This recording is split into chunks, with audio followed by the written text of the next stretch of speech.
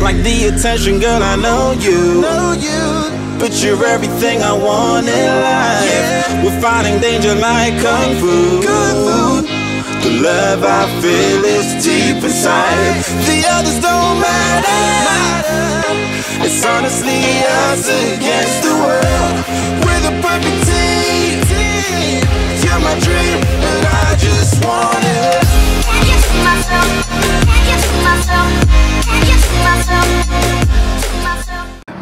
Yo, what is up guys? Balik lagi dengan saya Jun di Down Sorry Channel. Kalian sudah melihat ini ada motor apa?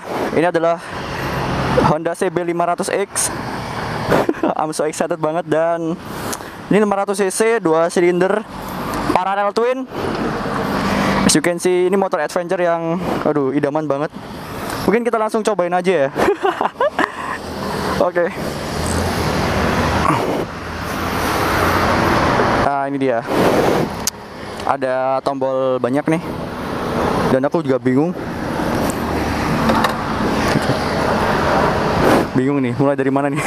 Gede banget. Ah. oke. Ini udah knalpotnya udah pakai R9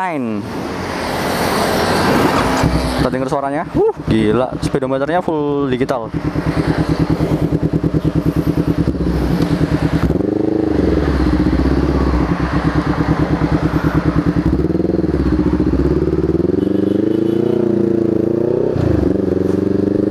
Wow.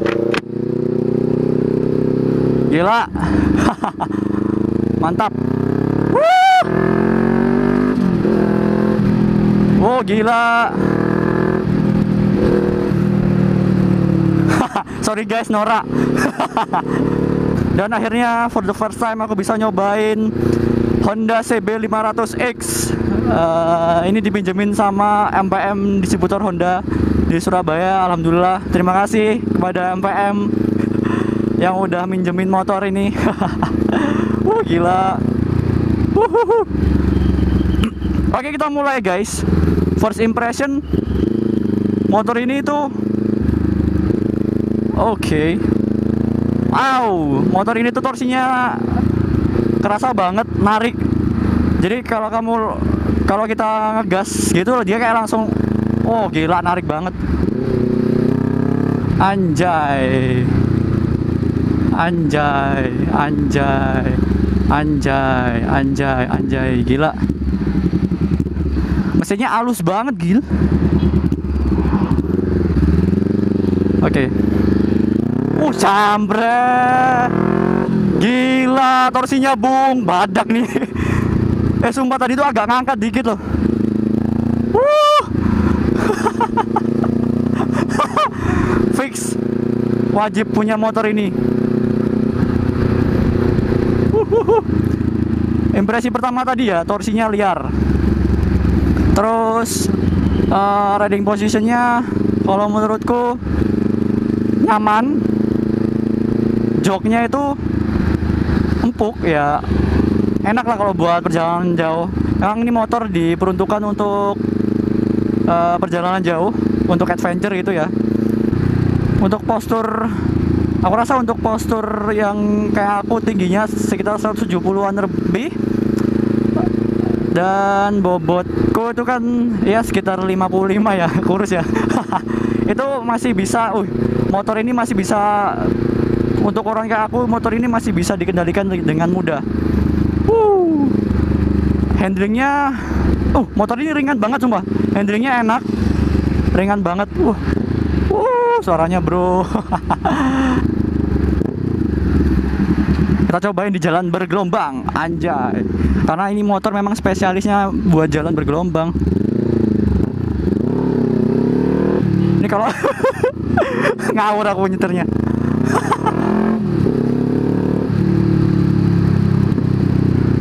Aduh. Gila ref bomnya tuh kalau dipakai ref bom itu rasanya puas banget loh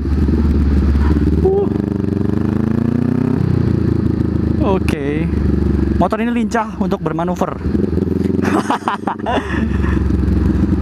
Aduh I'm so excited banget guys. Jadi aku bingung sebenarnya mau ngomong apa. Motor ini termasuk dalam list eh, listku ya untuk wajibku beli. Untuk adventure khususnya. Karena motor ini eh, yang pasti udah didesain sedemikian rupa proper banget untuk keperluan adventure Oke, kita lihat di sini ya. Berhenti dulu. Sebentar aja. Aku mau lihat penampakannya gitu.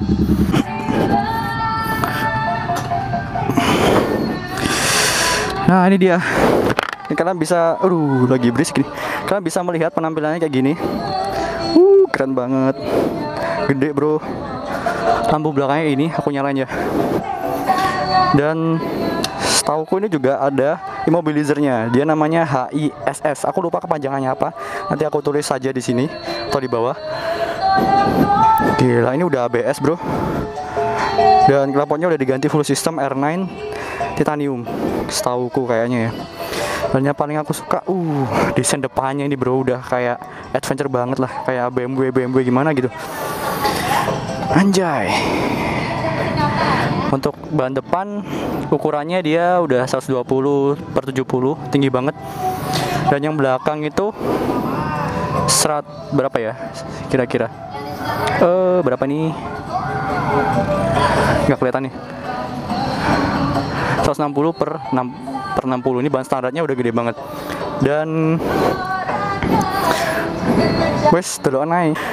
Dan eh, kalau moge ya, moge untuk adventure memang biasanya joknya tandem, jadi satu gini.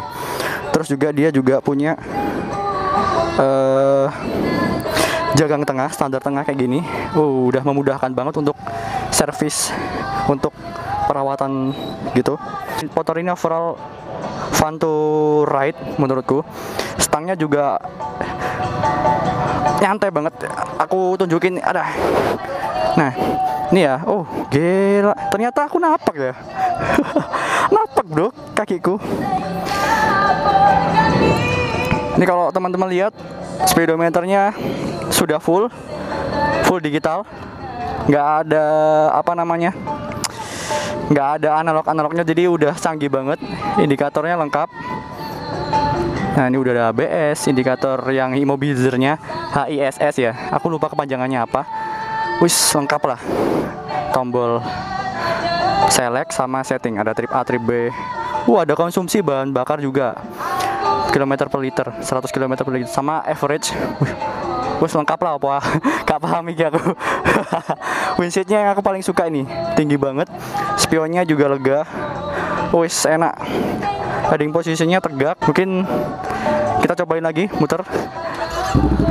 Oh iya ini juga udah ada hazardnya. Aduh lupa. Ada hazardnya. Nih nyala nih. Parah. Nah ini dia nyala yang belakang juga. Lampunya udah full LED depan belakang. Oh, terang banget. Dan footstepnya juga udah model kepisah gitu, lebih sporty. Rangkanya terlihat terekspos. Ah, gede banget. Langsung aja cobain lagi.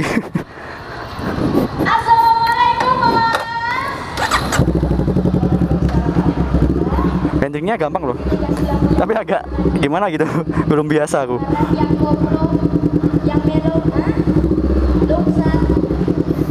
Aduh, pokoknya goyang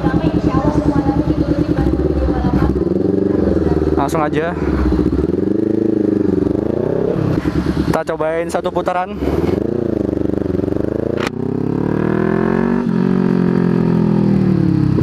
Oh gila. Untuk tarikannya nggak usah diragukan lagi. Memang ini motor untuk eh, adventure pasti torsinya gede banget.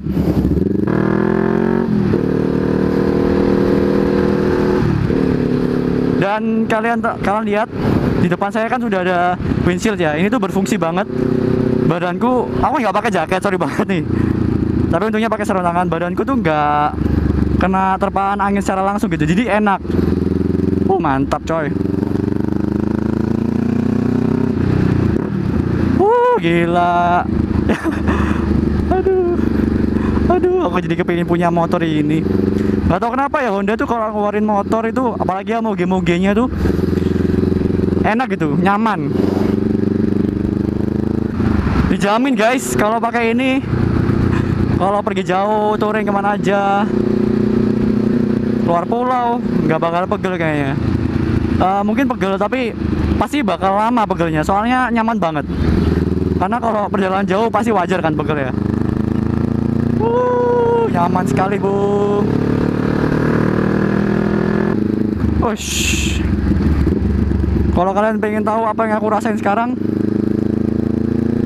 Untuk getarannya sih nggak terlalu kerasa ya.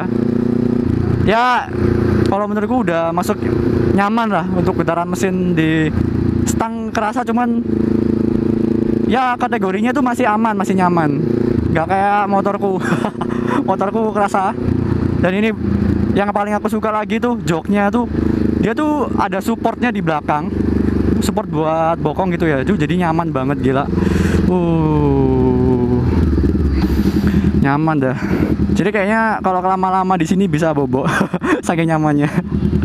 Oh my god. I'm so excited. Dia shockbreakernya pakai teleskopik kenapa? Karena kalau motor adventure itu setauku memang lebih nyaman pakai teleskopik.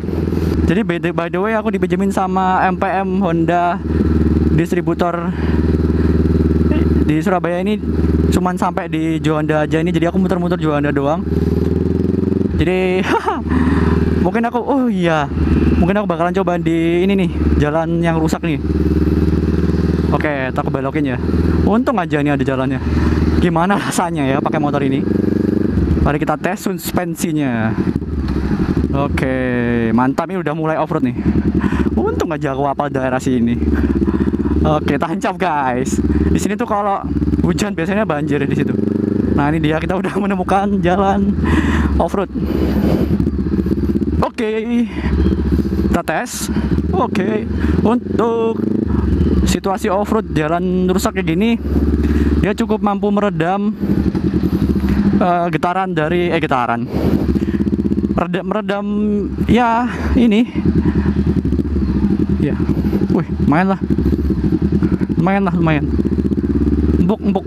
Jadi untuk jalan-jalan rusak kayak gini dia cukup mampu meredam eh getarannya dan nyaman. Ini aku lewatin. Oke jangan-jangan ini motor minjem. Oke oke. Oke ini dia off road oke oke. Oh men. Bener-bener nyaman men. Gila. Oi, hai. Tadi udah cobain jalan off road kecil. Sekarang langsung balik lagi ke tempatnya. Balik lagi ke tempat. Saya minjem motor. Dan kalau kesimpulan sih ya overall dari tes ride ini motor ini cocok menurutku balik lagi ke selera sih. Kalau menurutku kalau motor ini itu cocok untuk jarak jauh. Sebenarnya jarak dekat juga enak sih cuman kan kalau parkir-parkir gitu kan kasihannya motornya ya. Parkir umum di mall gitu kecuali kalau parkir di lobby nggak apa-apa ya. Ini cocok untuk yang suka adventure suka petualangan. Dan pastinya nanti mungkin nggak tahu sih kalau mungkin dari Honda juga bakalan ada aksesoris aksesorisnya mungkin kayak box gitu ya. Nah itu kayak gitu. Cocok banget dan nyaman. Asik. Enteng kok. Saya aja kuat ya jadi seperti ini first impression riding pertama kali dari CB500X terima kasih MPM Honda Distributor Surabaya telah meminjamkannya. This is the most wanted maybe. Mungkin salah satu eh, waiting list ya buy list buying list yang bakal aku beli. Untuk adventure ya. Overall motor ini cocok banget untuk eh, orang-orang yang hobi adventure? Ya ini jawabannya. So ya udah kayak gitu aja. Jangan lupa subscribe channel ini biar nggak ketinggalan video-video terbaru dari ini channel saya.